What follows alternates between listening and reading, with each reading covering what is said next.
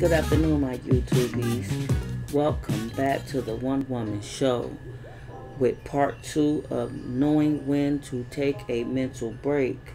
But first, I must say, I am not a doctor, I am not a therapist, I am not a psychiatrist. If you are seeing one of these physicians, please listen to them and take their advice first. Now, we left off on just say no. It's okay to say no. Most of us struggle with that word. I know a few people that tell you no with no chaser. They don't care how you take it. they just know how to say no.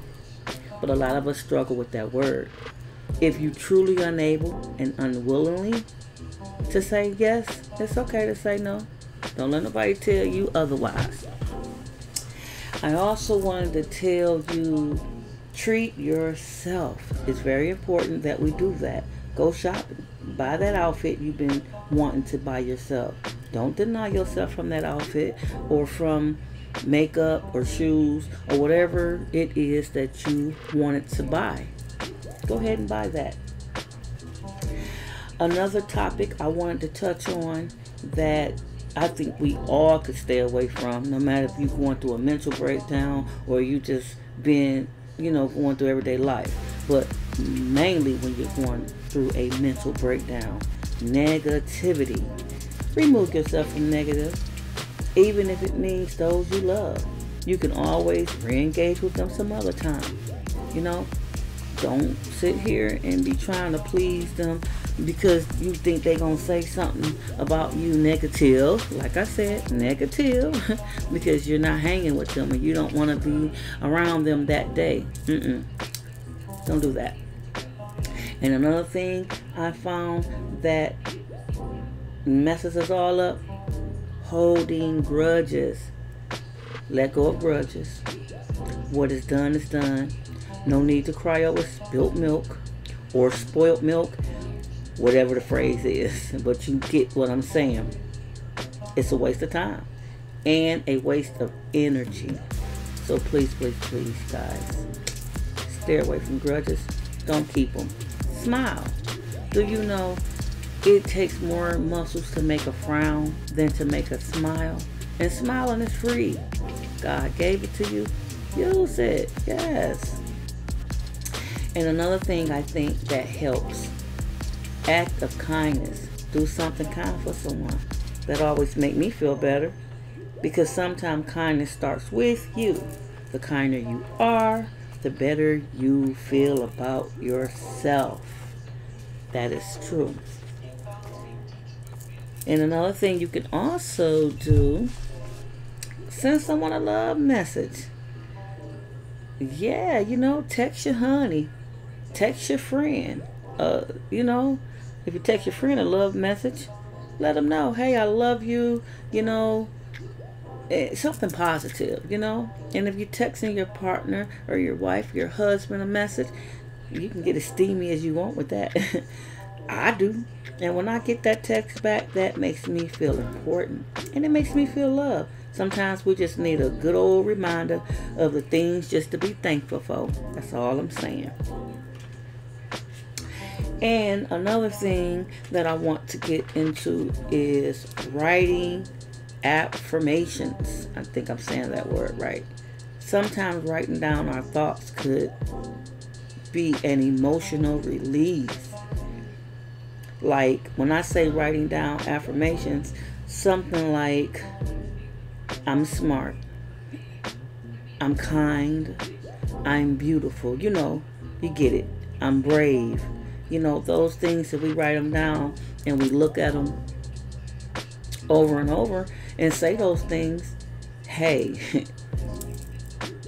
that's a great way to, um, you know, get yourself back into the mental state.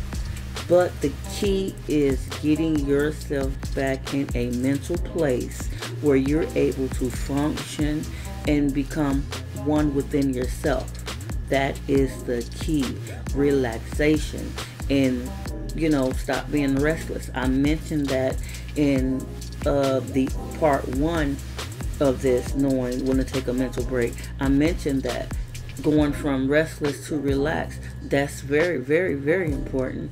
You know, you need to do those things. And um, like I said, you first. You know, take care of yourself. You have to. And if you do have to be in a place where you're depressed, don't stay there long. Please don't stay there long. It's not a good place to be at. It's okay to be upset. It's okay to, to be that way. We're human. Everybody get upset. But don't stay in that head space. Um, like I said, you guys, this one is a very short one because I did cover a lot of things in part one. So please check out part one. If you just skipping down to part two, go back and check out part one and then come back and listen to part two. I'm quite sure you will enjoy it. And once again, like I said, I'm hope I'm able to help someone out there with their problems will, you know, at least help somebody relax a little bit and get their mind back in the right state.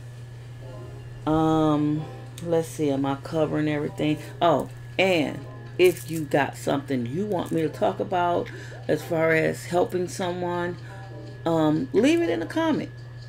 I'll read it, I'll get on it, and I'll also let them know um, who gave me the idea. If you don't want nobody to know, then that's fine as well. But the key is to try to get as many people as we can help.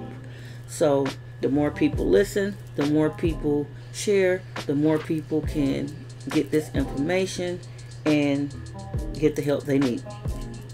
All right, I'm hoping that I covered everything that I wanted to from saying no, from treating yourself, from negativity, from grudges, from act of kindness. Uh, yeah, I think we covered the basics. All right, you guys. Once again, I love you and God bless you. God bless each and every one of you. And please be safe out here in this world. The holidays is among us. You know that crime rate goes up. please be careful. And with that said, please, please, please click like, share, and subscribe and hit that bell turn on your notifications so you can tune in to my next podcast video.